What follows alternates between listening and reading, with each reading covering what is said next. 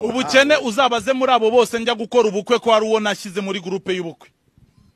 Ko hari uwo natumiye nahaye invitasiyo bahati yakorewe n'ubukwe na showbiz yose. Nta n'atanu yari afite.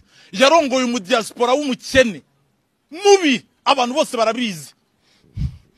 Bro nimukajye mufata ibintu muze mubeshye abanyarwanda. Fata ku mavuta ntabwo kwigeze akora. Fata yakoze umurenge gusa. Ah. yakoze umurenge gusa. Nese umurenge baratwerera. Nese yashaka muri showbiz amutwerere gute? Nese umurenge tu- njye njya mu murenge nigeze nguhamagara rene cyangwa njye mu murenge nigeze unabimenya? Ntabonye amafoto asohoka.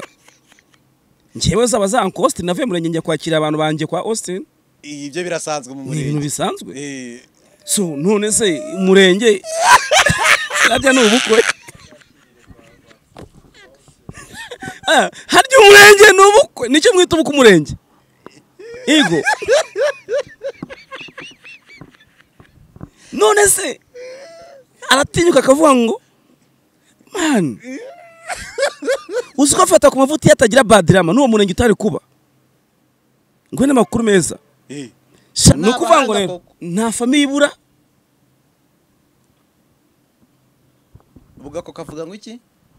Igicucu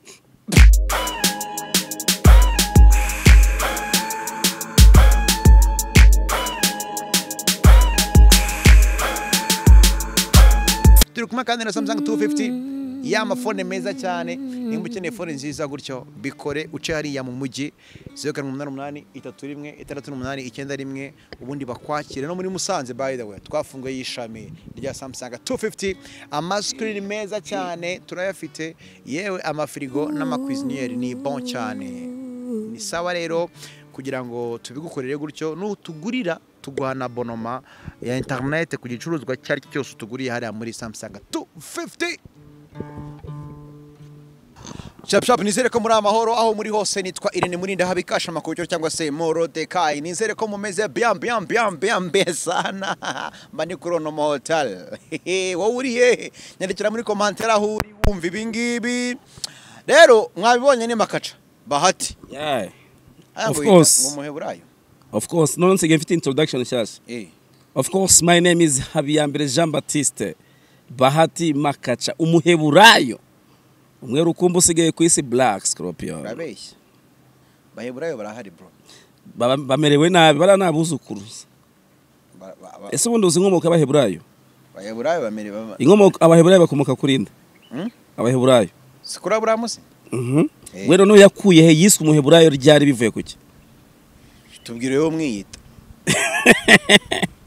dukomeze. Tubwire wowe mwiyita dukomeze dukomeze dukomeze. Icyo nababwira cyo ni uko ah, iriya ntambara iri kuba muri palesitine na, israheli ikomoka kuri ku bana babiri ba, ba, ba, ba nuza ba aburahamu Eh. isaka naho undi we yabyaranye nu- nu- Uwuhe wundi? nu- n'umujakazi we. Wowe kankubwire no bamubyaranye noneho kugira ngo mbikumve yamubyaranye n'umujakazi wiwe witwaga nde? Ntago mwibuka. Ariko babyara nde? Nawe simwibuka mbaza Ah. sara wabyaye isaka. Mbaza sara ko ari umugore tuzi wabyaye isaka akabyara atinze Ni icyo kibazo naho mugwa. Turasoma tukibagirwa. Naho mugwa. Ntabwo wagira ubwonko bufata sara n'imyaka yamaze mbere ko byara nurangiza icyo kuvuga ngo umushakazi ngo kuko byagenze uku n'uku ebisi si cyo tuba tuyizi. Ntiwasomera ibintu bitatu icyarimwe ngo byose ubu se ngiye gufata mu mutwe ko we na Peter mwarwanye ejo bundi. Hanyumvira kandi. Nindangiza njya gushyiramo ngo n'umwana Abraham yabyaranye n'umujakazi we. Ishimayiri. Ehe Ishimayeli ndamwibutse umujakazi yitwaga ntabwo nde? mwibutse namukubwiye. Umujakazi yitwaga nde? Jya ushima n'amakuru na yo yakumenya na yo mukubwire se. Mm. Eh? uwo mujakazi yitwaga na yo nde mukubwire. Mumbwire nyine. Ah, n'ibya mbere ntibabishimye so Ishimayeli na, Isaka nibo mubwire mama wa ishimayiri eh. Mukubwire. Ko watinze kumuvuga se? Ngo umushime se. na yo oya munyibutse munyibutse. Ibi mumbwe ko nsanzwe soma komantere bamukubwire nta mumubwiye eh Eh. ngaho mbwire nanjye ngo maze ko tujya mu bintu byinshi cyane. Wapfuye ukina yawe? wapfuye ukina bite? banza usubize wapfuye ukina Peter. Ntacyo twapfuye.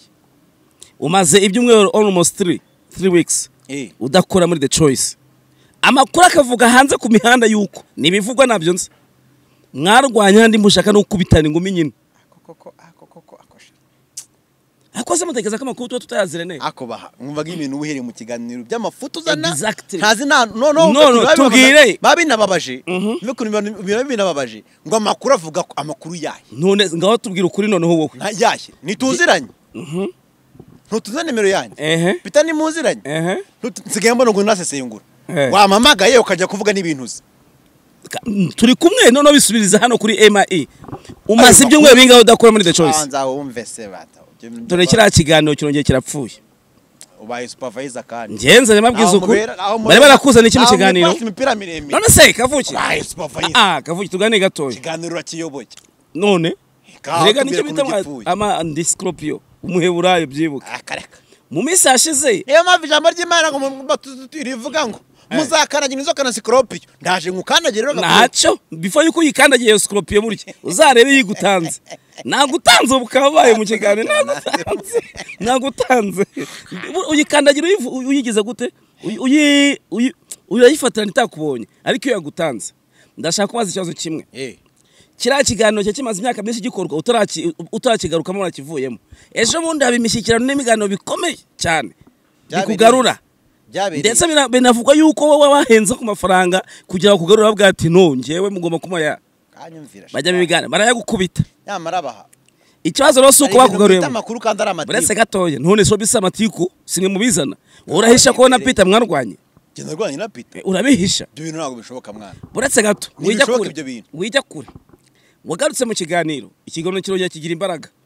N'ubu y'ikiganiro uretse gato kote faiblesse nkuramo nyirukana. Kote Kandi y'ikiganiro ni wowe. amagambo. uretse segwe ko aha. None ukoza amezi ataragera kuri abiri ikiganiro kivuyemo.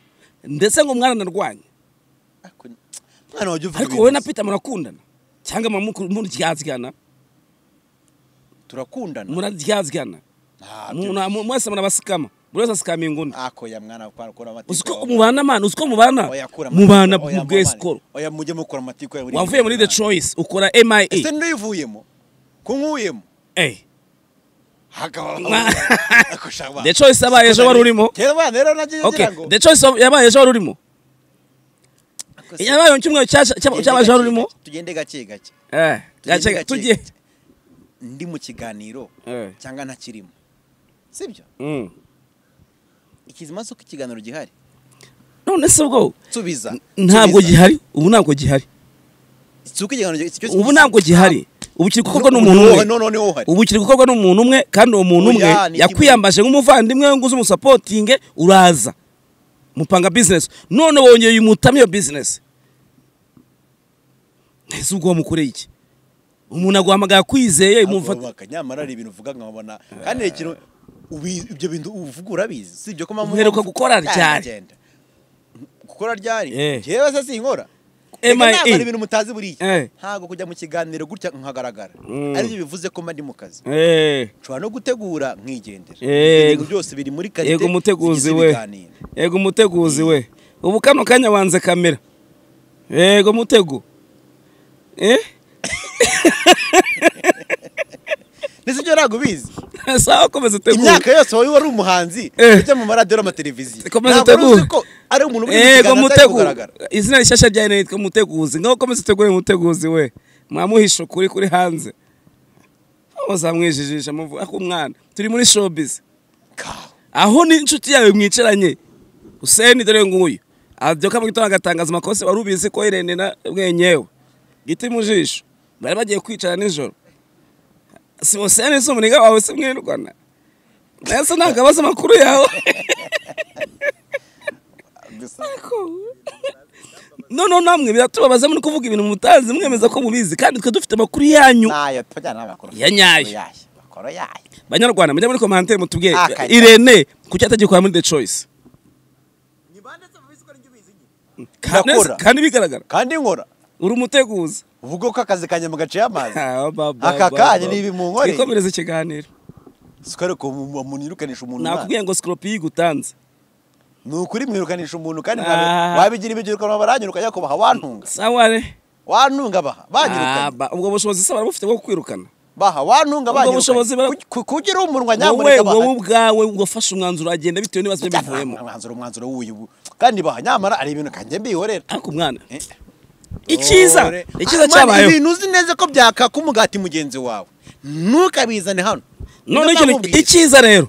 Aho, ni uko aho ubera umunyagatsata original ni uko ibi- ayo matiku yose aba atajya abera kuri MIE eh abera hande pfiyo nyamara baha Ah, mba ba- nkubwiza ukuri nk'umuntu inshuti yanjye. Eh. Dore nuko ubushize wambwiye uti utirene uti si n'umunyagatatu amwe nanjye ndavuga nti yego. Uti wakishimira ko mbaho nta mugore ngira nkapfira i kigali muri aba bakobwa na bati nawe nabikwifuriza.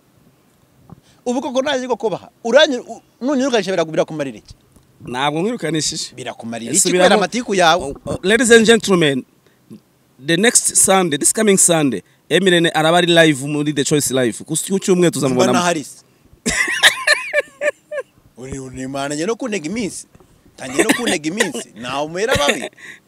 Eh, reka twikomeze ikiganiro. Babi? Reka tuve ko karagaciyemo ntega iminsi. Karagaciyemo rero naba ari byiza nyamara Ah, ese buriya ari wowe na peter ninde wakubita undi? Pita pita nijeye Eh, kandi ntabwo twarwana. Eh. yajya kunkubita akambabarira mwari mugeze ku cyangwa mugiye kubitana ingumi. Ntibibaho. Peter ko nabonye akora gym umunsi ku munsi. Eh, irene koko. Eh, abanyagatsata icyo mbaziho n'ubwoba bagira agatwe gato Mm, bakarinda urugomo. Niyo mpamvu wahisemo kwigendera. Mm. Uravuga ati musigane ibiganiro byanyu aho kujya turwane. Ngwana nandeze noneho petero nuko utamuzi. Pita mwarwana mwapfukiye tuvugisha kubera Ah, ntabwo pita mwarwana. ejo bundi nabonye ikiganiro gaheri bari kumubaza ku bya beni. nabonye ikiganiro gaheri bamubaza ku bya beni. Ngo ngo daga my brother. He is my brother. Wenda ntabwo nzi ubuvandimwe bwabo bwaba babushingiye kuko njye buramenya ibyanjye eh. Eh, ngo hezi ngo ni ngo ni brother we. Mu mwambure. Eh. nari ntaho umuntu yaramuzana amatiku mu bantu. Eh. Umuntu arivugira ati uyu ni umuvandimwe wanjye Eh. wowe ukaza kuri mikoro ngo hehehehe ngo ya ngo ya ni umuvandimwe we. Abavandimwe. Twikomereze ikiganiro reka nyi- nyigusubize nyakubahwa n'uwe se n'uwawe uzi ko kera kera kera tugitangira imiziki tom na beni twari tuzi ko bavukana. Cyane. Kuko se twasanze bavukana. Twasanze ngo ari ngo bakazinizi brado ukuntu Ah, Ibyo sinzi nimba ari byo. Dukomeze ikiganiro. Cyane ko umuntu ashobora kugira ngo afashe undi kugira ngo amuzamure birashoboka. Cyane ko tom yabikoze. Byo birashoboka cyane ibyo pe. Mm, ibyo birasanzwe muri game yaranabikoze yaranabikora ubwo buriya na, Ben ni umuvandimwe wa Kwa- ubwo ninde agomba na kuzamura undi? Mm? hagati ya Gayeri na The Ben ndagomba kuzamura undi. Ku buryo baba na- Gaël yavuze ko ari ubucuruzi. Mhm. ni umu businessman none se.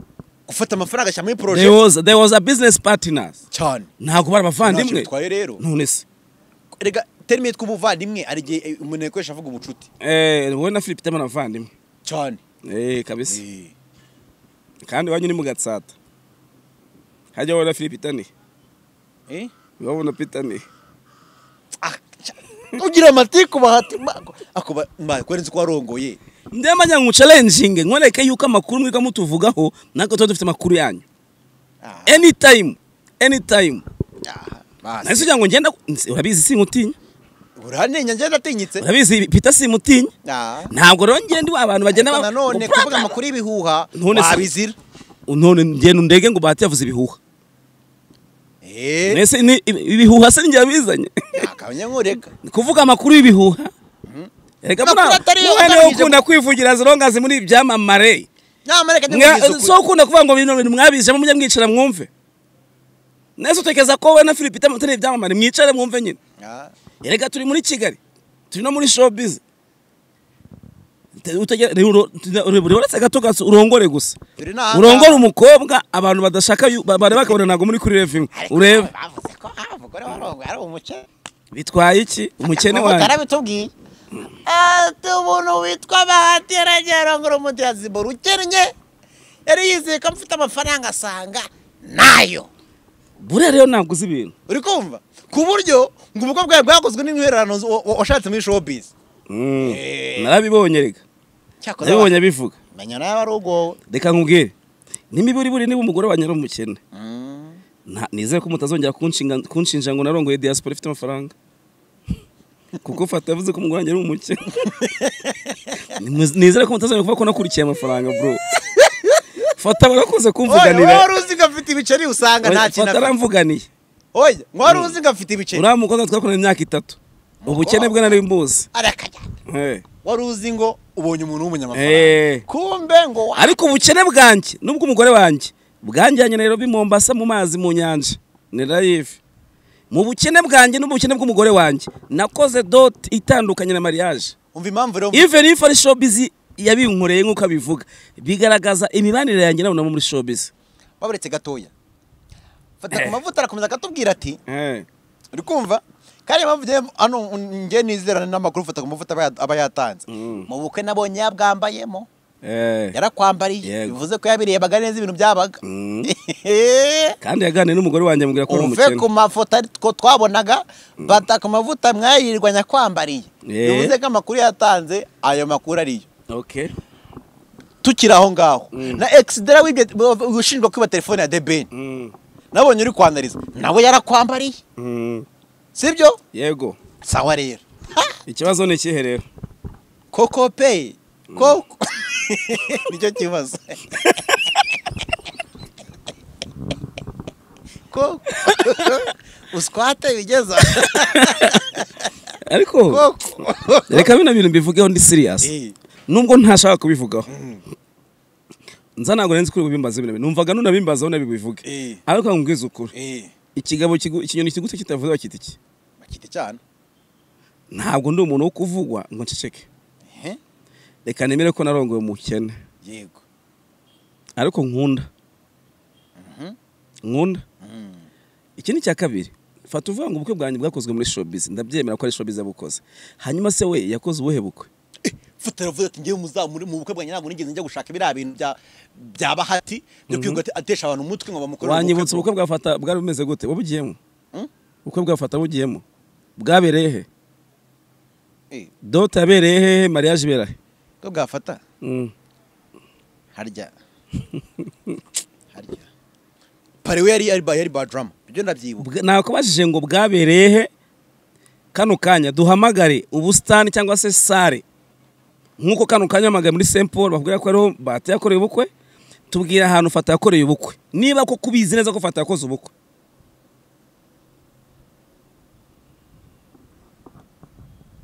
Harya fata yakoze umurenge. Bro nimukajye mufata ibintu muze mubeshye abanyarwanda. Fata ku mavuta ntabwo akora. Fata yakoze umurenge gusa. Ah. Yakoze umurenge gusa. Nese umurenge baratwerera?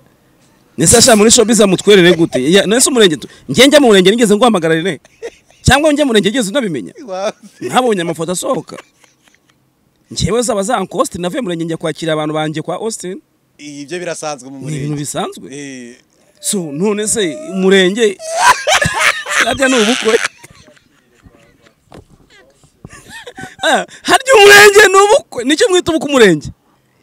Yego. None se aratinyuka akavuga ngo man uzi ko afata ku mavuta iyo atagira badirama n'uwo murenge utari kuba? Ngo n'amakuru meza. Eh. Shaka rama ramathani wo bita Eh. badirama iyo fata atamugira ntabwo umurenge wafata ku mavuta wari kuba Eh, abagabo ko mugeze ahantu habi. None icyo natangaje kirenzeho Eh, kirenze ikindi. Avuga yuko ndi umukene wakorewe ubukwe ariko nanone akongera akisubiza mu mafaranga yavuze atunze. Harimo n'amafaranga y'umugore wavuga mama fata yaravuze yakoze lisite y'amafaranga atunze.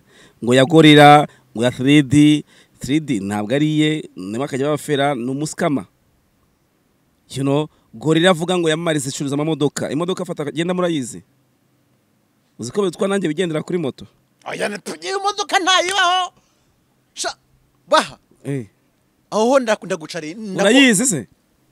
Tubireke, reka dukomeze. kose nta modoka na moto. Du- dukomeze gato. Ubyemera iyo ugeze muri muri muri muri muri ambutiyaje Nawe uri kwihuta imvura iguye. eh ntacyo. Imvura iguye se mba njyahe kuki utaguye kunyara zimvura mba njyahe kuki utaguye kugenda imvura nakwicaye yahita nkagenda. Ariko mfata akabagenda N- ntacyo. Duceceke gato dukomeze. fata fata. Ikintu cyo ikintu cyambabaje mu nkuru fata kuba ari imodoka Rene kimwe mu bintu nemera abantu Imana ibabarire reka mbivuge gutyo ntabwo ngiye guharabika abantu bakomoka mu gitega nabo banambabarire. Ariko zimwe muri rema zituruka mu gitega zigaragaza ubushobozi buke bw'imyigire yabwo ku buryo batinyuka kubahuka n'igitsina gore. Njyewe ushaka kundasa muri showbiz it's okay. Ariko iyo uzirimo famiye yanjye biba byabaye ibindi bintu. Buriya ntabwo nshobora gutinyuka gutinyuka kuvuga kuri madamu wafata ku mavuta. Ahandi ubwo ntabwo wamuvuzeho. Navuze ko yavuze ko ubwe ko madamu afite amafaranga. So sinatinyuka kumuvuga noneho njye kumusebya. Marabike madamu yafata. Njyewe kimwe mu bintu nzi neza natozwe cyane ko atari muri ibyo bintu byanyu ntago abibamo. Umugore wanjye ntago abibamo. So disipurine yafata ku mavuta. Ko se yaramuharabitse kuvuga ko ari umukene. Nyine banza mve njye ushobora ku- kuna- kunacinga utsoke ukavuga. Ariko bigeze ku mu- ku muryango wanjye biba ari ibindi bindi. It's okay twe turi muri showbiz. Ntabwo abadamu bacu bino bintu babibamo. Yaba umudamu wanjye yaba umudamu afata ku mavuta ntabwo babibamo. Nta kintu kimwe bagiyemo uretse kuba bararongowe n'abagabo babibamo kigaragaza ko baba muri showbiz. So nta n'impamvu rero kujya tujya dukora ibintu ngo twatake n'imiryango ariko. No ngenda mupostinga mupostinze wowe ushaka uri umunyamakuru ushaka kuvuga ati Bahati Makaca yapostinze madamu we. Aje ariko ntabwo watuka umugore wanjye cyane ko ubuzima bwe wabunahije cyane. Icya kabiri yavuze ko uwo bita cyusa yaririmbiye ubuntu. Cyusa muraziranye cyusa gakondo. Yes. Eh. Cyusa Ibrahim ngo muraziranye cyusa mutesheje umutwe kugeza aho ufite telefone ye hamagara cyusa. Cyusa se waramwishyuye muhamagare. Ah kasha. Muhamagare. Imana ifate telefoni yicemo. Cyusa ko nawe atajya arya indimira muhamagare. Nimba uteruye ikihe cyusa baha Ngiye Reka- kumuhamagara. Ngeze n'akaguru ku kandi. Him. telefone ye iciyemo. Cyusa shara ikibazo ntabwo yagushyira hanze nawe n'umwana mwiza cyane. Salamu papa, umusaza ni amahoro fresh papa. shaki umbabarire kibazo. Guhamagaye ni mu kiganiro. Okay. ngabanza umbwire. Umbwire yego cyangwa tubwize ukuri pe sibyo? Hmm. koko bahatima agaca mu bukwe bwe yarakwishyuye. Amaye nka ngibyo ko fata ku mavuta avuga ko rwose na n'ubu ukiri kumwishyuza Njyewe nta kibazo mfitanye na na na bahati pe. Nta kibazo. Gihari. ubu turi kumwe numvaga rwose yarakwambirira ngo nkwishyurize mu kiganiro ni ukuri ko Imana yaranyishyuye pe. Ibindi nzabikureze twahuye. Reka njyane ibyo sawa. Sawa. Noneho, wasake. Reka nkwereke gato reka nze kwereka na cyusa Eh, i have it here. Numvaga waramugigiye ngo kuririmbe bro never. I am a scorpion. Ndumuhebura i'm blessed. Seriously i'm blessed. Ubu nari kuri umunyarwanda rero. Kandi umunyamasengesho. Eh, cyo cyo nacyumve cyane kandi reka nze nkwereke kontra yanjye na cyusa ntabwo ntabwo ari ibintu. Mpana akosuye kugira kontora iki kandi yavuze ko yatwishyuye yakwishyuye nako wamwishyuye eko tu- tukarenga. Twe guta umwanya urumva? Njye niba mbwiye icyusa avuze ko yamwishyuye. Dukomeze. Wumva ukuntu ibibazo by'ubukene bw'abantu bigiye kuzabakoraho. Fata n'umukene ku rwego. Ubukene bwe busigaye bumukoresha amakosa umunsi ku munsi. Kugira arebe ko ya- ya- yabaho. Wese fata umukene. Mani bro ni umukene. Umuvugizi nshobora kuba nanjye nshobora kuba nanjye nari umukire. Ariko abakene bararutanwa kuko hari umukene ku mafaranga kandi n'umukene ku mutima. Ya oh, no no ku mafaranga. Birababaje cyane kubona umuntu ari umukene ku mafaranga akaba n'umukene ku mutima. Kubera yuko niba koko fata ku mavuta yaratashye ubukwe bwanjye. You guys murebe ubukwe bwabaye. Yaranakwambariye. Yaranyambariye. Yambaye muri dote. Wabonye dote nakoze ukuntu ari imeze yego. Showbiz nakoze ubukwe dufashe dote na, na, na, na, na, na, na mariage. To be honest ntabwo ntabwo maria- ubukwe bwanjye buri munsi ya miliyoni hejuru. Rwanda bizi ko ubukwe buvuna. Niyo mpamvu bwananiye urumva? noneho bwari buri nka hejuru ya miliyoni makumyabiri kuzamuka. Niyo mpamvu bwananiye bati icyo kintu gifate umbwire ngo muri showbiz abantu baranwerereye kavuki showbiz tubamo. Situyizi cyane. Hari umuntu muri showbiz wakoreza ibihumbi ijana. Kandi bwarananiye nanjye. Noneho ni cyo nemera cyo ni kimwe kuba showbiz mwaranwerereye kuko abantu banwerera urimo birasanzwe. Ni ibisanzwe binagaragaza ntabwo ari buri muntu uwo ari we wese ugutwerera. Ahubwo bigaragaza imibanire y'umuntu n'abantu. Ngewe ino showbiz imaze imyaka cumi n'itanu uretse fata. Mbwira undi muntu dufitanyemo ikibazo. Eh, nta wundi. Mumbwire. Na posti zawe maze iminsi mbona nta wundi. Mu- we mbwira umuntu dufitanye ikibazo muri showbiz nyarwanda. Muvuge. Niba ari post ubwo ziri publicly mbwira ati nabonye post ivuga umuntu uyu n'uyu. Shasa winjiriye mu bintu by'ubusesenguzi ko n'abanyamakuru mbona wabinjiriye. None se. Imiziki yakunaniye? Nta urimo urashwana n'abanyamakuru. None se ko imiziki niba ntazabasaba promotion. Kandi nabonye n'abahanzi bamereye n'abavuga uti nta muziki uri mu rwanda uti imiziki yanyu ati birakabije turabiza kubivuga ibyo ngibyo tubigeraho. Fata twamuvuyeho twikomereza reka abanyamakuru. Nsabe fata ikintu kimwe. Mm. ku kumarabika kuri njyewe it's okay. Ariko famiye please. Ntabwo famiye zacu zigomba kuza muri bino bintu bya showbiz. Mm. kimwe mu bintu byambabaje bikanwa no ku mutima ni ukuvuga umugore wanjye umusebya kuriya ntabwo ari byiza. kubera yuko nubwo fatanyambariye nta n'isegonda n'iri na rimwe yigeze ahagarara n'iruhande rw'umugore wanjye. Bari guhurira. He ku buryo ahita amenya amakuru iyo ari yo yose areba umugore wanjye. Njyewe sinshobora gutinyuka kuvuga umugore bafata noneho kumuvuga ndi kumusebya no kumuharabika. Gusa nanone fata sinamu- sinamuseka sinanamugaya. Bigaragaza imikurire aho yakuriye mu gitega. Ah gitega ntukayi none uzi ko gitega ivamo nasabye minsi nawe? imbabazi. Nasabye imbabazi. Ongera udusabe bwa kabiri. Iyo gitega umva, uvuga ibyo uvugamo na- minsi nawe navuze ngo ega natwe mugatsatara abantu badus- ba- bahari baduhagarariye mu kudusebya. Barahari. So niba nawe atu- atuka mu gitega fata akaba ahagarariye igitega mu kuyisebya ariko nawe amakara yahesheje ejo bundi agaciro muri muri Trace Award. Eh. nyine buri karitsiye buri nta famiye itabura ikigoryi true that. Nkunze ko ibintu uvuze wari uzi ko ari byo ukaba ubyije uravuze ngo nta famiye itabura ikigoryi bivuze ngo nta famiye igira ikigoryi. Nta famiye none itabura. urenzaho akantu kitwa true that nkaho uzi ko ibyo uvuze ari byo. Nta famiye iburiye. Itagira- itabura ikigoryi itagira ikigoryi.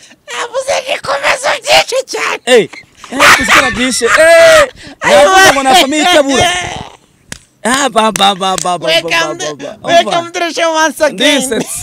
Reka mbivuge neza mu kinyarwanda cyiza.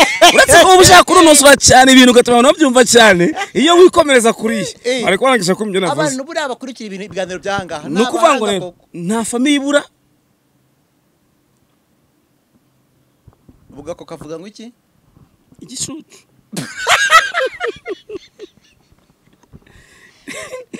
Ariko bro, uzi ukuntu bibabaza kubona umuntu yakwataza cyane cyane akajya ku mudamu wawe cyangwa ku mubyeyi wawe mama wawe cyangwa umudamu wawe. Umuntu wese uzatera ubona kubagana.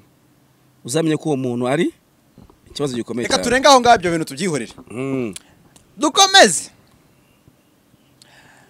Tugere ku bintu nabonye. Abana biteye ubwoba. Mm. kandi nkabikubonamo. Ukiva i burundi. Yego. Nabonye ikiganiro cyari kumwe na muyoboke. Mm. Muri kwataka byeruye Mm. bruce melody na management ye Mm. mbona biteye ubwoba kugira ngo mumenye ko biteye ubwoba nanagana na, na melody Mm. ntabwo yagukomojeho cyangwa se yagukomojeho simbizi Mm. gusa yabonaga ko nawe agaragaza ko atashimishijwe n'abantu bari kumuvugaho begereye the ben Mm.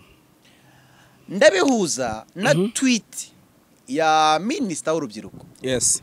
Avuga ati aba batipe bombi avuga the ben na melody. Akoresha amatelefoni manini tweet y'umuyobozi Eh, buriya si si byiza gukotinga umuyobozi udasoma neza amagambo ko yayavuze cyane ko nabonye nawe hari umuntu uyoka. Eh. Eh, wabonye imvuga akoresha. Bwana muyobozi. N'izina rye urarizi izina rye? Yitwa? Muyobozi minisita izina rye. Rihero numve ko byibuze urizi udu? Utugira gute? Wanza sha urihero numve ko byibuze urizi soma tweet. Mm, kankumaze ngusomere tweet y'umuyobozi. Ubwo ntabwo ndagera ku kibazo kandi. Yego. Eh.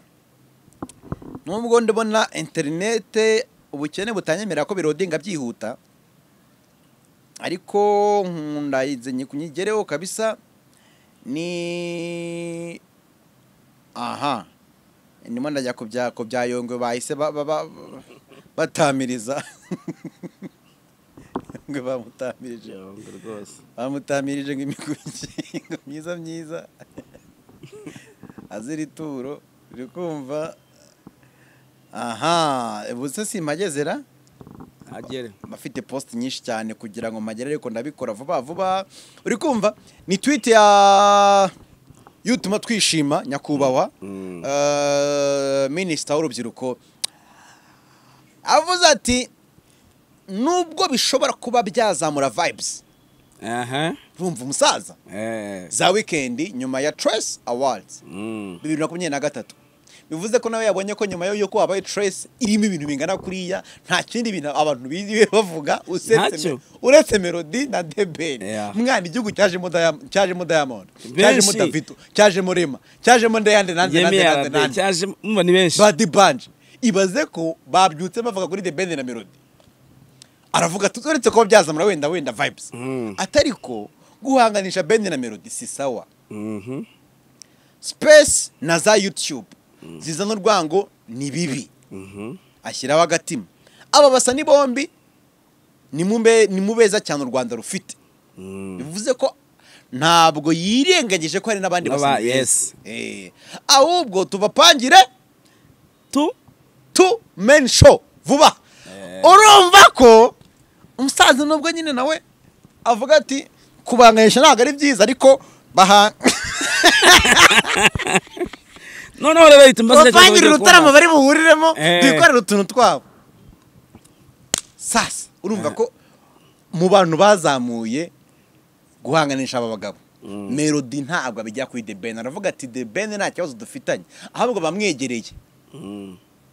Nibo bakomeje gutuma agira inzangano. Nibuka kuri bantu bagiye i Burundi. Mm. mu gitaramo cya The Ben. Nkanakumva uri ku- uri- gukatira ba Melody. Ndavuga nubwo niba bahati nyine nta bandi yavuga begereye the ben. Cyane. Urumva ko namwe ibyo urabizi se? Eh? Urabizi ko ngi Burundi? Na the ben yari yaramamagaye ngo ngi Burundi? Simbizi. Reka mvuge ku icyo kintu. Reka ba Melody reka tuvuge ku icyo kintu. Njyewe mvuga mu kiganiro njyewe mvuga iyo nzasubiramo. Nanavuze ese koko birakwiriye ko melody ahangana na, na the ben? Mhm, cyangwa melody ni uwo kubaha ben? Mhm.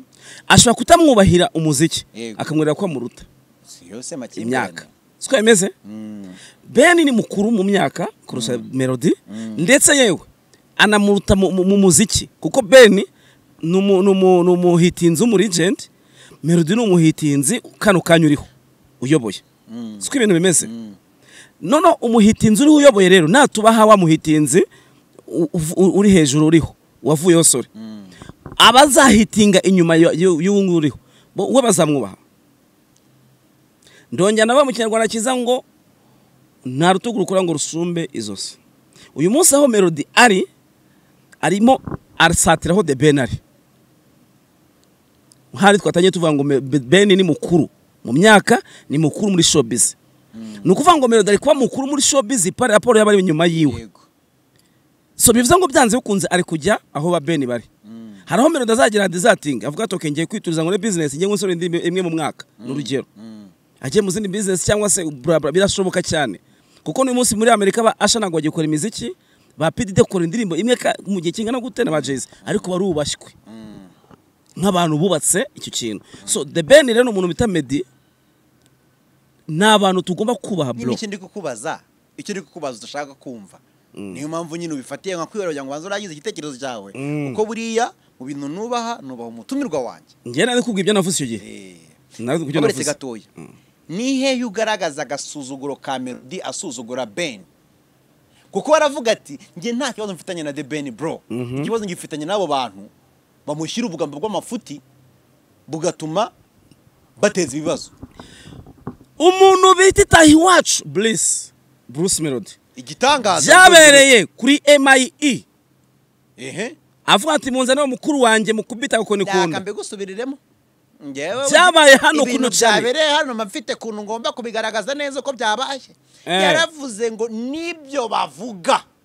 Numvishe bavuga ngo bashaka gake, music genda gake gake yaravuze ngo ni byo bavuga Eh. ntacyo ntibamuzane bivuze ngo akotinze ibyo mwavuze by'uko bamuzana mukorera iki kubita agakoni kunda urakoze cyane ibyo bivuga iki hanyuma irene wahoze uvuga ngo Eh. philipita ni mukuru wawe siko twatangiye ngo muri abavandimwe ngo brothers Mm. nk'uko melody ubwe yivugira ko yubaha ben Mm. Umuntu wubaha ukunda wasubiramo uko avuga umwigana ku buryo ugera ku rwego umwigana ukuntu arira. Iyo byageze mu- miziki cyane ko ntari umuhanzi uri kumva Turi- mu miziki rero kizaho uri umuhanzi. Turi mu miziki. Kizaho uri umuhanzi. Turi mu miziki. Nyine ukizaho uri umuhanzi ibuka ibiganiro njye nawe twagiye dukora imyaka yashize itandukanye. Uri umuhanzi. Ndi umuhanzi. Nakubwiraga ati umuntu bita Bruce Melody ndamwemera ko ni we muntu waje muri Guma Guma ya kabiri atubekinga uyu munsi akaba duhedinze. Ntabwo ibintu twari twabikoranye twabivuganye. Yego warabivuze. Nuko se nsuzugura reka Melody nuko wari warazimye? Wari kubivuga zo utarazimye ubu se noneho ndi kuvuga noneho ubu narongeye ndaka. Eh? ubu narongeye ndaka. None se kuko urabizi ko nawe wazimye. Narazimye. Ese mbi- mbihakane ko nazimye? Erega ikintu gihari kuri ariko yose ba kino kiganiro twajya ku piano kugira ngo abantu basigare baze baseka tuvuge tuganire. Nzi ko kirangiye ikintu ki- gituma abantu abantu no muri showbiz mwica ibintu ntabwo muvuga muca ibintu hejuru. Ubu se mvuga ngo ndatse. Ndimo ndasharininga ameze uko niyo mpamvu uri mu izina ryawe. Muri Trace Award wambonyemo se. Eh? muri Trace Award wambonyemo. Waba ujya kumara iki urakoze cyane. Impamvu ntarimo ni ukubera iki? Ko byanze? Urakoze cyane. Eh. none se niba koko byaranze kubyemera bisaba iki? Kwemera ko byanze bisaba iki? Ntabwo melody ari inyungu twese twese byaranze.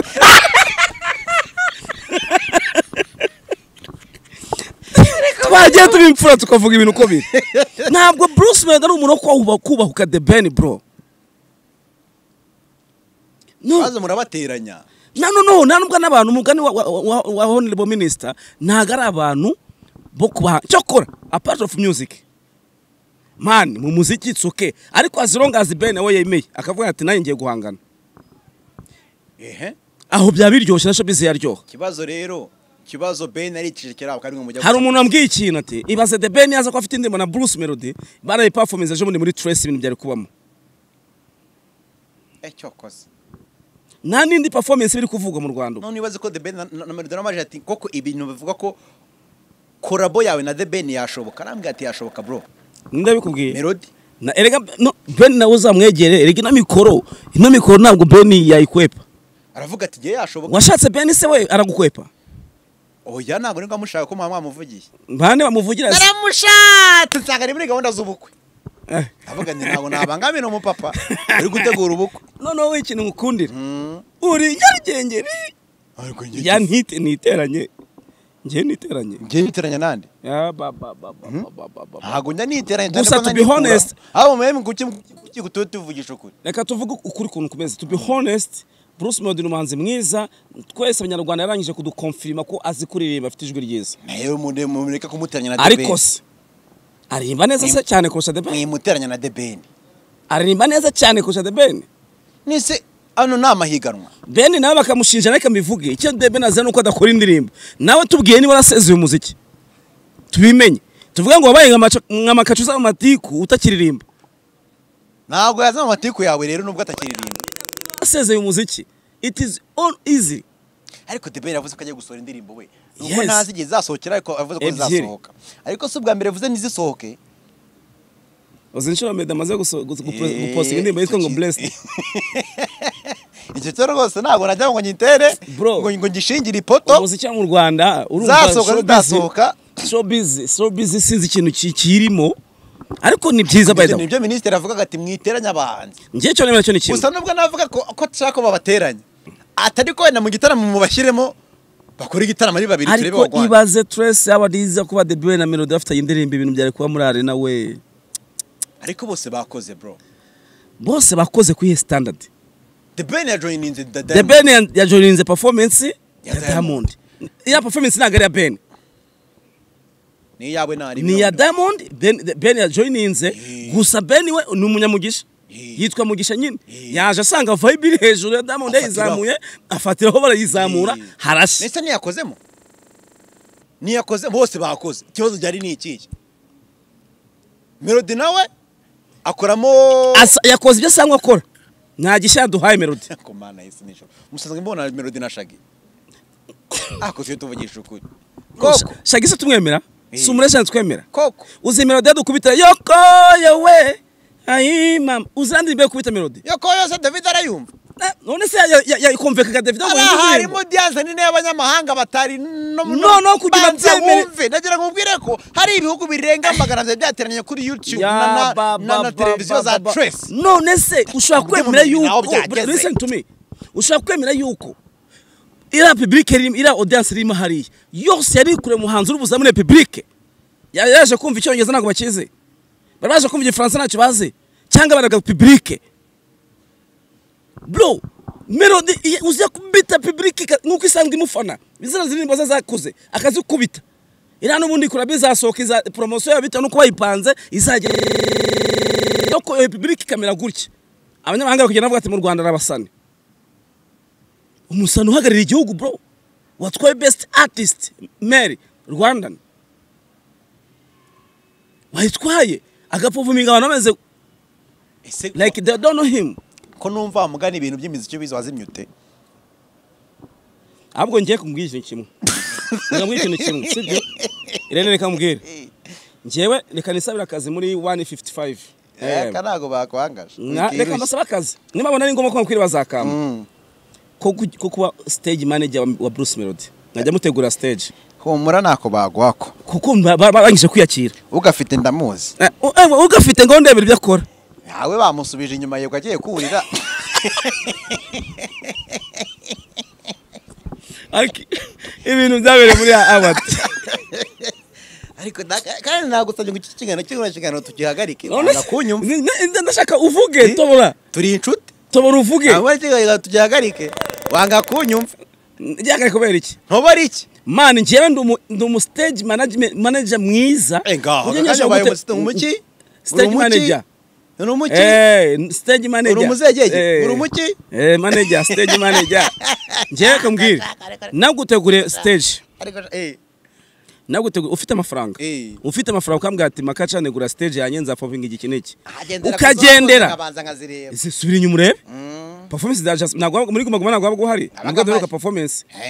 None se ngaho subira inyuma urebe izo twakora. Shama gaca byemera baga bisindiye ntabwo ibyo bintu bya Ngaho stage nyumvira. ubyibuka oya subira inyuma birebe ariko. Performance zacu. Ababyinnyi bangahe? Kuri stage natwe turi batatu ababyinnyi cumi cumi na batatu. Uga- ukiteteyininga abantu bro. Hano ntabwo ari muri church ntabwo no kuramya no kuramya niyo uje kuramya no kuramisha mu rusengero ufite nuza worship team inyuma yawe. Noneho e- especially stage nk'iriya iri international stage. Ukaza bro. Umwenda wacanye kuri red carpet ni we uzanye kuri stage performinga ni we ugaruye gufata award. Eh let me reka mbivuge gutya bruce melody if you need to become international wabivuze mu artist kinyarwanda ko ari byo byumvikana. niba ashaka kuba cyongereza kumwisa ntacyo niba mu okay, it's okay. Na upfe kuko Icyongereza. ntabwo kose ntabwo navuga ngo let's take a look. Kikunige. Dore ni ahangaha munyamuhera umwana yivugiye yi- yi- ariko ma- Uretse gatoya. Reka nsoze icyo ngiye uretse kuvuga. gato urakivuga nta winjyana kure. Ngakivuge. Okay. Niba koko bruce melody nk'umuhanzi twemera. Kandi turamwemera twese. Yego. Akeneye ntabwo akiri kuri level y'u rwanda. For sure. Ari ari ku ya kongo se ari- ubu ngubu ari kwambuka ari kurukinga ajya hejuru ajya kuba international mbese ari artist. kurukinga? Ari kugira ari ku ari kugenda nyine ariko cyangwa muvuga Tukomeze Kandi gatoya. indimi tuzi- zizabakata Ntabwo tugeze komeza nta kibazo. Urumva melody rero natangire. Yiga ukuntu agomba kujya ategura performance ziwe. Kuko melody ni umuririmbyi mwiza ariko ntabwo ari umupafoma mwiza. So kandi nk'umuhanzi twizeye twebwe dushaka ko duhagararira igihugu ejo n'ejo bundi natangira atekereze kuri performance ye cyane. Kuko niba umuntu nka davido ukomeye ku rwego rw'isi diamond platinum zucu yemi yarade bashobora kuza mu rwanda. Bakavuga ati kuba bitewe n'ukuntu twubaha iyi- stage tugiye kujyaho reka dushake ababyinnyi tutizaniye inaha diamond azanye ababyinnyi bane abandi bose bakuye mu rwanda. Bagategura stage ababyinnyi benshi babashakira imyenda wabonye performance kimwe mu- bintu byaryoje performance ya diamond n'ababyinnyi barimo. Siko bimeze? Ntabwo biriya bintu melody byamunanira bisaba gutegura bro. Kuba uri umuririmbyi utazi kubyina ntabwo bisobanura ko utagira ko utagira timu ikubyina inyuma. Kuko ah, muri audience iri hariya muri muri public haba harimo ibintu bibiri. Harimo abi- abikundira ababyinnyi niyo mpamvu uyu munsi abantu bajya mu kabari kujya kureba amasuzi uri kubyumva neza ugasanga ahantu abantu bamasurira haruzuye. Ni ababyinnyi tujye tuvuga ukuri. Mm, ni byo. melody nagerageze kuko icyizere abanyarwanda bamuhaye agisigasire abakora ikindi kintu bashaka. Natangiye yige kuri performance ye kuko performance ya melody yaje bundi muri Trace Award. Imeze nk'iyo yakoze muri iwacu na muzika ejo bundi. Ni niyo yakoze muri guma guma bibiri na cumi na kangahe. Zose zirasa. Ahindura imyenda gusa. Kuba uzi kuririmba we know turabizi ko uzi kuririmba. Ariko gerageza nk'umuhanzi mukuru. Unerekere barumuna bawe bari inyuma. Uzi nk'iyo bita umuntu bita baba platini agira amahirwe yo guperforminga hari ahantu. Uzi nire gukora wowe? Yarabikoze umwaka ushize. Yaperforminze gute? Muri muri Nigeria. None se. Ibaze ko platini ahagurutse nyagakonye abyinnyi bina abajyana Lagos. Abajyana muri hahandi bagiye handi. Mm. platini yagiye amahirwe yo guperforminga hariya. None melody ni we uyoboye kano kari mu muziki. Yaranabihembewe ejo bundi. Nagerageza atangira atekereze kuri performance ye. Bitabaye ibyo ngibyo. Bitabaye ibyo. Abantu baraza kumurambirwa. Komeza bya naragiye kumbaza ya nkoni ni we iri bukubite nabonye ejo bundi bavuga ati none ya nkoni yakubise nde? Njye ntabwo mbara The Ben uko yaperforminze simubara. Kuko The Ben ntabwo ari nomine icyo ni icya mbere. Icya kabiri na performance ye muri iriya Trace Award yaje itunguranye ko The Ben agomba kujya gutanga ibihe- ibihembo. Siko bimeze? Ariko na byo si byo nk'umuhanzi mukuru. None se ahubwo ni byo ntabwo ari byo reka ntabwo ntabwo abahanzi Ah, bose none se The Ben araba nominated yakoze iki gituma aba nomine nta Muri uyu umuhanzi mwaka. mukuru bigaragazwa n'ibikorwa. Umva none se kuba nomine hari Ben amaze imyaka ibiri adakora. Abantu baramukunda The Ben aba agomba no no gukora. Na ako twabivuze kare. Eh. niba aretse umuziki natubwiye ko yaretse cyangwa se nagikora umuziki Ah, ngo umuziki. ajoyininze ngo Diamond byose ni ibiki niyo mpamvu ngiye mvuga The Ben ni karigona niyo mpamvu ngiye nkubwira ngo umva umva umva umva umva umva umva Irene. Ngiye ntabwo mbara ko The Ben performance muri Trace. Ni- ni- none si ibyo byo ni byo kuba uri kuvuga ibyo bintu. Ntabwo akwiye kuba Ben. yagapafominze ariko nibuze ari stage ye. Apana kujya kujoyininga. Nyine nanjye ni byo ndi kuvuga. Akwiriye kuba yaperforminze se yari nomine abaperforminga bose ko bari bari nomine hari ibintu mwe mudafite kumenya? Ubu se koko pe koko. Ako mujye mujye mumenya ukuntu ibintu bitegurwa. Iyo abantu babaye selected babaye nominated Umva amatsiko. Banza wumve. Muri ba bantu babaye nomine Mm. ni ho havamo abatoranywamo mu kuza- mu kuza performinga the ben ntabwo yari nomine ariko performingamo nkande nyine kaguba kabete gatoya koko pe ibi bitekerezo byose by'umuziki urabizimanye koko? Ntabwo nzabisaza na reka reka twigarukire gatoya reka nigarukire gatoya koko! Wari wagiye se. koko pe! Koko! Uradutereranya wanza kugaruka muri the choice? Kwisibo Ndugumvira unyumvira ibintu. Koko! Hakomaka koko pe! Utereranye umuvandimwe wawe Philipita umuteje ah ba bahungu ikibazo nakomeje Nta kibazo mfite na Babu. ibyo bintu mbona uri gutuka babu. Ntawe mutuka sinyanukana. Akaba avugaga ibintu bimeze hajya niba icyo sinyanukana. Naravuze ngo. Se babu mwapfuye? Mbese gato navuze ngo. Nyine mwapfuye kino na reka mvuge icyo navuze navuze nasubiramo. Irene yicaye hano. Philipita akicara hano. Babu mu kiganiro asobanuye iki? Ikiganiro cyanditse cyawe cyangwa cya cy- sorry. Mm, cyanyu. Ikiganiro cy'isibo na N- mwinjira mu kazi k'abandi njye nawe bipfira ah baba uza abantu baje bagashaka kuguhita erega Mwinjira mu kazi k'abandi mwana. ariko reba imyaka ukuntu wihirinze. Eh. hari radiyo wakoreye nikajya iguhemba ukwezi kwawe kwari iminsi mirongo itandatu. Nganyumvira. Sibyo ntabwo mwe mwinjira mu kazi k'abandi? Nganyumvira. Ngeze no mu mishahara yanjye. Ibyo icyo gihe wari uri kurira uri kubaka. Icyo gitangazamakuru ukiva ujya ku kindi. Twabonye aho bosi ya- yahamagaje lisite bashaka kukwirukana mu kiganiro bosi wiyitiraga icyo gitangazamakuru ibyo bintu mwabikoreye ku karubanda urakomeza urarwana uyu munsi ubatse aha urahagarika ukavuga ati nitwa Murindahabi Irene nyamara entertainment ese indengo ingongo ndengo ndengo ndengo Murindahabi I- MIE bivuga ngo Murindahabi Irene entertainment none undi mwana uri kuza ashaka guhita automatically yicara nawe akumva yuko mureshya murangana. Atabanje guca avuye muri management ngo z'abasobanuzi ba filime none se wowe ko uvuye mu muziki ukaba utangiye gusesengura abahanzi bagenzi bawe ni amahoro? Muvuga ko mugira iminwa. Noneho turebe ko mu- ko mundusha umuntu imiziki iranze ko ujije gusesengura abahanzi bagenzi na bawe. na givinze up kera. Nibwo ukibyibuka ko yananiye imiziki se? Naretse umuziki bibiri na cumi n'umunani. Ejo bundi Johnson indirimbo nasohoye indirimbo y'umugore wanjye ati ngo Eh. none ngo ari mu biki? Eh, ntacyo. Eh, ibyo ndimo byose kose, umuhanzi. uzi abantu bamaze kureba iriya ndirimbo se. Mhm. icumi ryaruzuye. Icumi gusa se. Reba hari ko se ufite interinete reba. Kandebe. Karirimbo bagasohora twebwe dukora ibintu twicecekeye tunumye. Higo. Ariko ukuntu shaba ari gu- cyo kazaba icumi. ryaruzuye. Wowe reba. Uracyambarira mu icumi? Hari ibintu uzi ko maze kumenya ko utazi uwo ndi we? Ndakuzurira umuheburayo ehe ngaho reba bimaze kujya bangahe?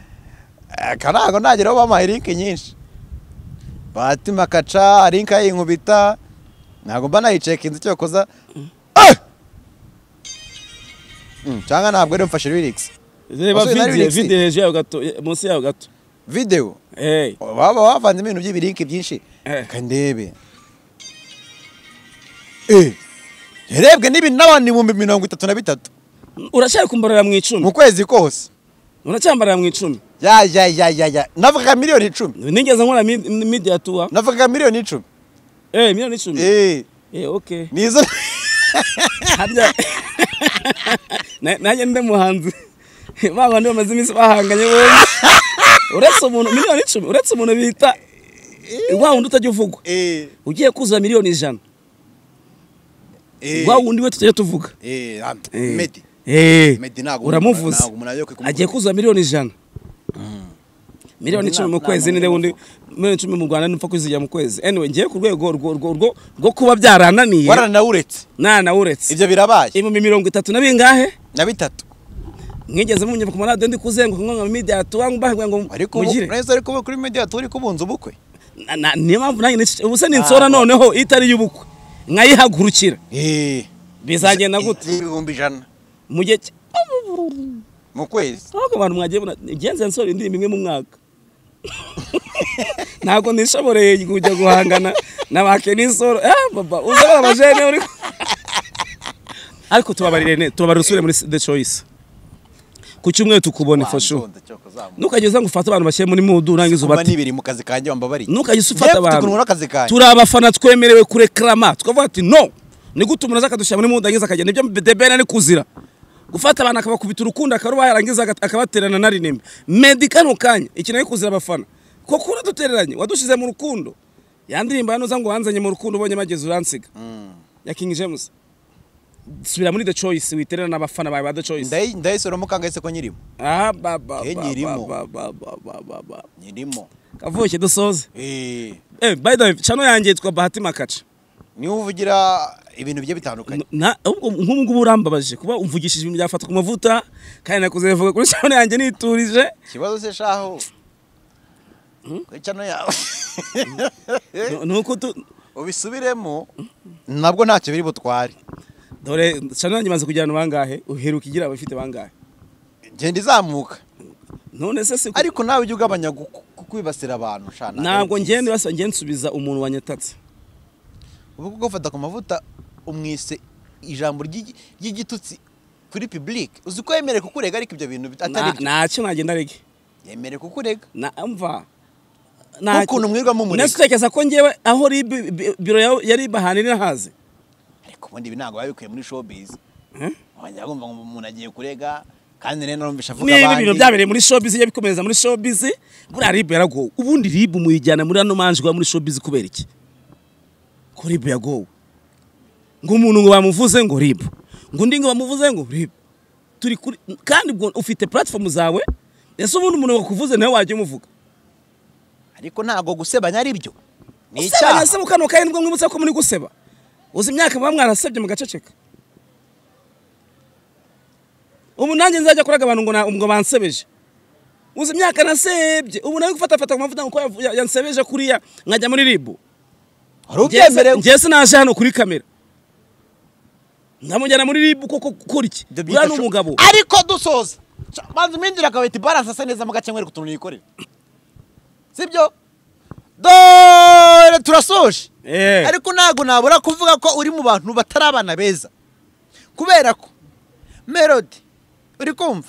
Akindangira ko uri mu bantu ba hafi ya debeni bamuteranya na mbese debeni ni nawe wakurangiye tuza kuko yavuze ikintu mwavuze mbona ikiganiro wari ukirimo na muyoboke. Akikurangira Genda gakeya, yahise- yuko muganira kuri kuri ndangira kamera. yabiga ari kubivuga komeza Ese uvugira debeni ugakubita hasi melody. Uri kumva mpita menya ko uri umuntu mubi gute? Eh, eh. kubera ko n'umuntu wibye telefone ya melody yakwambariye mu bukwe. Bivuze ko cyane gakeya. Umuntu ufite telefone ya melody cyangwa ben? Yako ya beni Eh. undi wibye telefone ya debeni Eh. ni umuntu w'inshuti yawe cyane. Mm. uri kumva? Wanakwambariye mu bukwe. Erega yuko ko n'uwansebejeje bundi nawe nyambariye mu bukwe. genda gake gake. Mwagiye i burundi. Eh. mumutererayo n'iki Mm. uri kumva? Mhm. umuhana arifutura muzana umujura wawe. Mhm. uri kumva mugira urukiko rwamuhamya icyaha yaba ari umujura. Ngo njya kwa muganga rero kugira ngo na- namwite umujura bakavuga bati uramututse hakiri kare. Ntabwo bamututse. Rero urukiko ruhamije icyaha yaba ari icyaha cy'ubujura. Eh, okay. Akaba ari umuntu wizaniye akajya kwiba telefone ya debeni ukanamuzana muri rifuti Mhm. kandi ukabeshya debeni ko muri inshuti urumva atari we mubi? Noneho ubwo rero ako kantu ako kantu reka nyigusubiza gatoya korodinateri urashimiye hano kuri interineti ko batirashimira egisidira yes. Yaramfashe mu kwezi nega n'ubu ndamushimira. N'ubu ndamushimira sure. Warangiza Kuko ukamwoshya akiba telefone koko ya debeni listen to me. Kandi debeni ari inshuti yawe. Ubwo rero ni ukuvuga ngo ntabwo mwavuga yuko ngewe nanga Bruce Melody kuko amakuru avuga yuko ngo management ya Melody ariyo yatumye Dira kujya kwiba telefone. Manajimenti ya Eh. melodi Eh. yatumye inshuti yawe kujya kwiba telefone. ndangije ngiye njya kumucikisha. Nawe ujya kumucikisha. Ubwo bivuze kandi ngo wowe ubwo rero na ubwo nako na melodi? ubwo ni ukuvuga ngo ngewe sindi inshuti ya debeni ahubwo ndi inshuti ya Melody byanga byemera rero wowe ni we kibazo. uzi ko hari umuntu wambwiye Nakuvumbuye. umva agashyano kabayo. Umuntu yaraje arambwira ngo ufite ku rungu n'utuntu kigo. hari umuntu mu- wambwiye ngo Mm. ngo umuntu bita Coach Gael yaguhaye imodoka.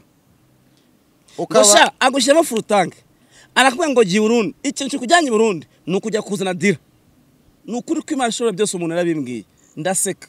Ikibazo uwo muntu none muri ni- mukaza mukavuga ngo makaca ngo wanga melody uhora umusebye. Kandi manager we yari amaye imodoka akarima kujya kuzana dira dira yatwaye telefone. None se koko usibye ko uwo muntu yabivuze niko byagenze? Ah, ba, nyine usibye ko uwo muntu yabivuze? Koko niko none byagenze ikintu gitangaje. Mm. ikintu gitangaje njye na Ben. Nagiye i Burundi Ben atazi ko ndiyo yamenye ko nari ndi i Burundi iriya kesi ibayeho. Eh, bamubwiye ngo yari kumwe nande na Bahati ni we wamuzanye. Eh. dira ntabwo twajyanye. Twaragarukanye kandi ribu tujye tuvuga ibintu tuzira ibindi. Na muyoboke bivuga ko yamukomye urushyi ni we mwari muri kumwe muvuga ibyo bintu. Mbe kuntu mba nabikuruye gake gake. Mwarangiza mukavuga ngo none se- atari mubi. none se ire kavuke. Dira uramusinicinze usinicinze the ben na melody icyarimwe urumva atari we mubi. Ubundi uguriye. Nawe bakaba bakafata ku mavuta abo kwa Ben noneho wowe uravuze ati u- m- f- nuza melody akikubwira ko ndi muri? Eh, mu bantu ba hafi ba Ben bamubwira ibyo bintu. Noneho no kwa Ben aho bakababwira Ben yuko Bahati ari we waje gucyura dira yahawe imodoka na Coach Gael nese ubwo ndi? Nawe akaba yarebye telefone akaba ari wowe umutahana. None se ubwo ndi? Ndi muri team B ndi muri team B. None ikibazo mfite cy'amatsiko. Mm. kuvuga ko utega moto iyo modoka wavuye i burundi uri ntabwo yari iyanjye wahayemo ari ifuti iriya modoka wahaye ifuti dira wabetse gato wahaye ifuti dira mu modoka itari iyawe. Eh. Naho ubera mubi. Urumva? None se reka ngo urugero. Iriya modoka yawe nyihereye umunyengara ukambwira ati nyamirambo ujye kunywera ka esanse ya kuno kuno nkahora n'umuntu hano mu nzu akambwira ati marifti tuziranye nawe mwima. Navuze ko rero ukunda kuvuga ibintu utazi. Nta modoka ngira. Navuze ni witondere ibintu uvuga niyo mpamvu navuze ngo nanjye. Mm. akamoto kanjye karamagije. Koko n'izo modoka baniza nkatanga amarifiti zinkoraho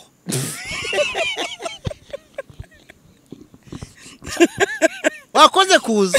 Wakoze kavuki nawe ubundi ni we mubi re urumva ko uri mwiza. byo gufata umuntu ukamujyana hariya akaba ni ho bipfiriye ahubwo ikibazo ni kimwe muhera he muvuga ko melody